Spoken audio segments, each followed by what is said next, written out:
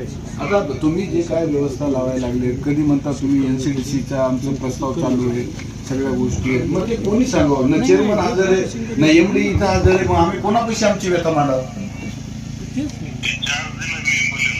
हा. ते हिंगोलीला बोलवा त्याला त्याला त्याला पाठवा कोण हिंगोली येते आम्ही त्याला विचारतो. कोण हिंगोली इथं? आहे का कोणी हिंगोली इथं?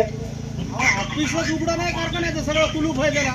नाही ते हिंगोली नाही त्याला बोलवा त्याला पाठवून द्या इकडे. ऑफिस बंद जाहिरात सुरू होती हो. बिमार आहे ते आता.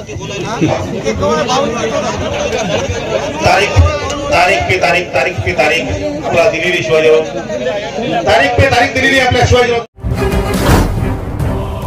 युवा क्रांती न्यूज लाईव्ह. लढा युवकांच्या तरुण विचारांचा.